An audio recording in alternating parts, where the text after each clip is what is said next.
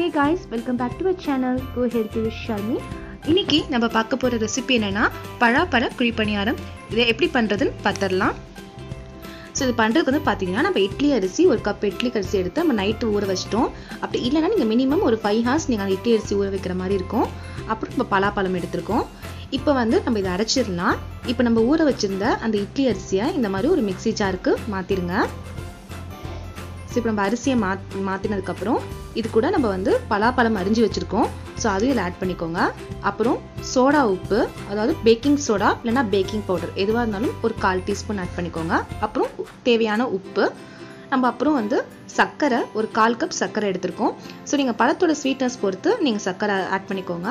அப்புறம் அரைக்கிறதுக்கு கொஞ்சமாக தண்ணி ஆட் பண்ணிவிட்டு இப்போ நம்ம இதை நல்லா அரைச்சிடுவோம். ஸோ இப்போ பார்த்தீங்கன்னா நம்ம அரைச்சாச்சு. பாருங்க நல்லா ஒரு மாவு மாதிரி இருக்கணும். இட்லி மாவோட பதத்துக்கு அது இருக்கணும். அப்போ தான் நம்மளுக்கு ஊற்றுறதுக்கு கரெக்டாக இருக்கும். பாருங்க இந்த மாதிரி இருக்கணும். ஸோ இப்போ நம்ம இதை அரைச்சாச்சு. இதை வந்து நம்ம ஒரு பாத்திரத்துக்கு மாற்றிடலாம் ஸோ ஒரு பவுலுக்கு ட்ரான்ஸ்ஃபர் பண்ணதுக்கப்புறம் இதில் வந்து பார்த்தீங்கன்னா நம்ம வந்து அந்த வாசனைக்காக ஏலக்காய் தூள் ஒரு கால் டீஸ்பூன் ஆட் பண்ணியிருக்கோம் அப்புறம் பலாப்பழத்தோட சங்க்ஸ் அதாவது குட்டி குட்டியாக கட் பண்ணி நம்ம ஆட் பண்ணுறோம் அது நம்ம சாப்பிடும்போது அது நல்லாயிருக்கும் அப்புறம் தேங்காய் துருவல் ஒரு கால் கப் தேங்காய் துருவல் ஆட் பண்ணிக்கிறோம். அவ்வளோதான் இப்போ நம்ம இதை நல்லா மிக்ஸ் பண்ணி விட்டுக்கலாம். சூப்பரான பலாப்பழம் குழிப்பணியாரம் ரெடி ஆக போகுது. பாருங்க இந்த மாதிரி எல்லாமே நல்லா மிக்ஸ் ஆகிற மாதிரி மிக்ஸ் பண்ணி விட்டுடலாம். இப்போ நம்ம இது எப்படி பண்ணுறதுன்னு பார்த்துடலாம். இதுக்கு வந்து பார்த்தீங்கன்னா நம்ம குழிப்பணியார பேன் எடுத்திருக்கோம். நல்லா ஹீட் ஆனதுக்கப்புறம் நம்ம வந்து ஆயில் விட்டுருங்க. கொஞ்சமாக ஆயில் ஆட் பண்ணாலே கரெக்டாக இருக்கும். ஸோ ஆயில் ஆட் பண்ணதுக்கப்புறம் நம்ம வந்து இதை கொஞ்சம் கொஞ்சமாக மாவு வந்து ஊற்றிடுங்க இதில் வந்து முக்கால் வாசி அந்த மாவு ஊற்றினீங்கன்னா போதும். அப்போ தான் அது வந்து வே வேகும் போது அது கொஞ்சம் உப்பி வரும். கரெக்டாக இருக்கும். ஸோ இந்த மாதிரி ஒரு முக்கால் வாசிக்கு ஊற்றிக்கோங்க ரொம்ப டிஃப்ரெண்ட்டான ரெசிபி ரொம்ப டேஸ்ட்டாக இருக்கும்.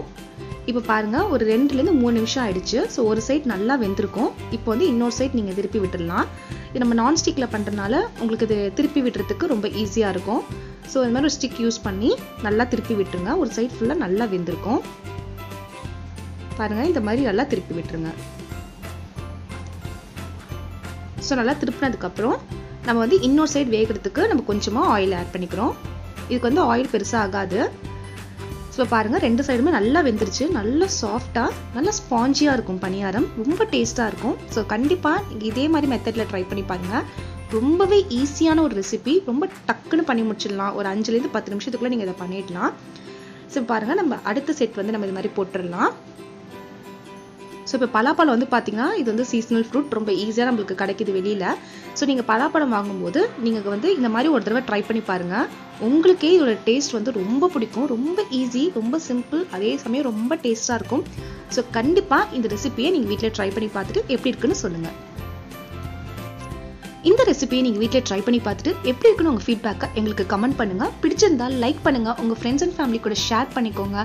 இதே மாதிரி டிஃப்ரெண்ட்டான ஹெல்த்தியான ரெசிபிஸ் உங்களுக்கு வேணும்னா நம்ம சேனலை சப்ஸ்கிரைப் பண்ணிவிட்டு கூடவே இருக்கிற பெல் ஐக்கான் கிளிக் பண்ணிக்கோங்க. அப்போ தான் நம்ம போடுற அடுத்தடுத்த வீடியோஸ் உங்களுக்கு நோட்டிஃபிகேஷனில் வரும்.